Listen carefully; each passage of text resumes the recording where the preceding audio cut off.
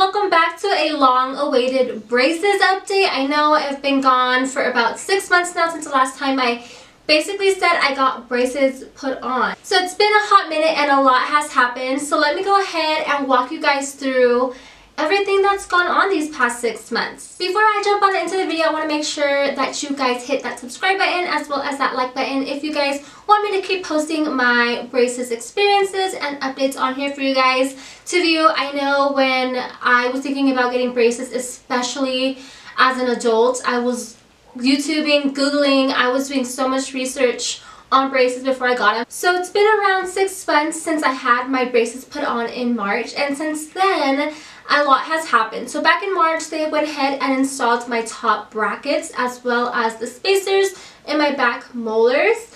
Um, and the spacers are just the little blue rubber bands that are creating space between your molars for what's to come next, which is not pleasant. Let me just put it that way. It was definitely a surprise to me Please make sure that you're talking to your orthodontist, you're asking questions. That's definitely something where I failed. I did not ask enough questions. So I knew he had mentioned something about an expander, but I didn't really know what it was and how much it was actually going to affect my daily life. So if you guys are curious on expanders, then just keep watching the video because I do have a lot to say, okay, a lot. I had my expander installed in June, so three months after I had originally gotten my top brackets and I also got my lower brackets that day as well. So I went in to this appointment not really knowing what was going to happen, what are they going to do. Of course I was excited, I wanted to see more change in the way my teeth were shifting. Um, so that's when they told me that they were going to go ahead and install the expander. So installing the expander was very uncomfortable.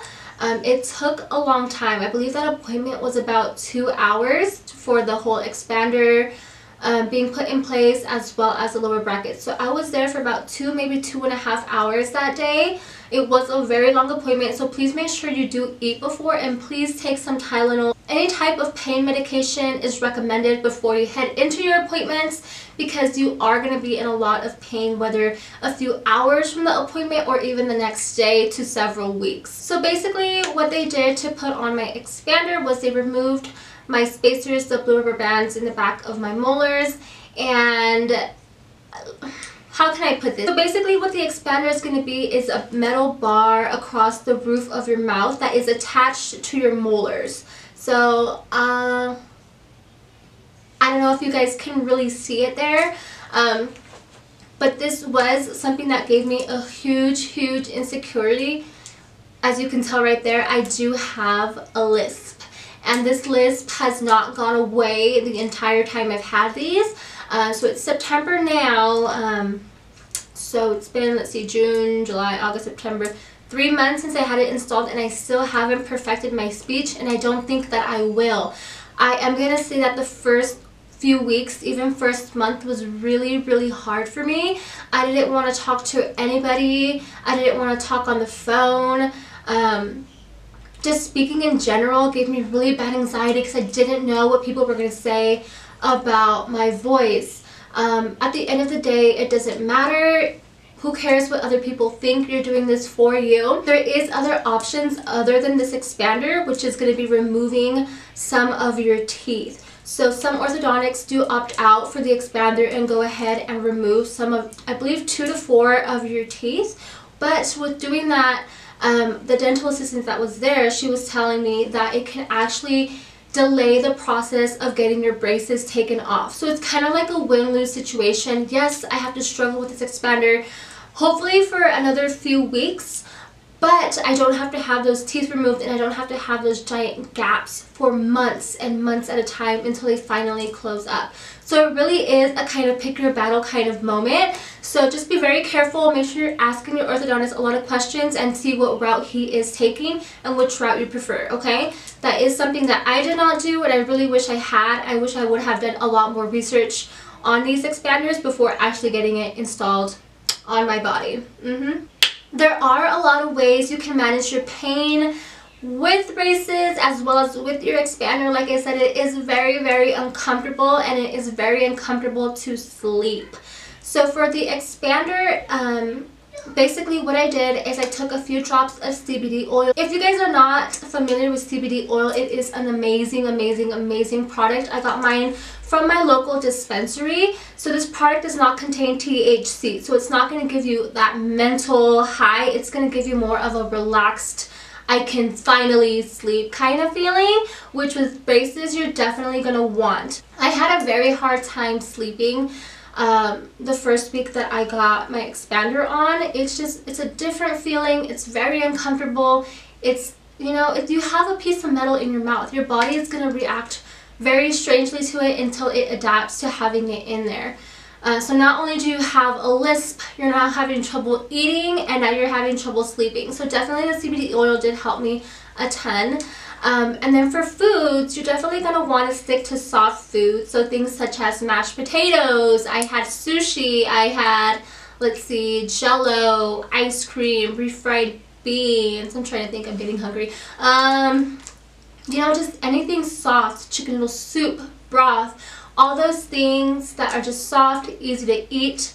Um, you're definitely going to want to stick to that. For sure, for sure, you're going to want to steer away from any meats, um, any crunchy crackers, candy, any of that is just going to be a bad situation, okay? That being said, I want to go into what this expander is actually doing for me and my braces process. So the expander is basically widening up my jaw to perfect my bite.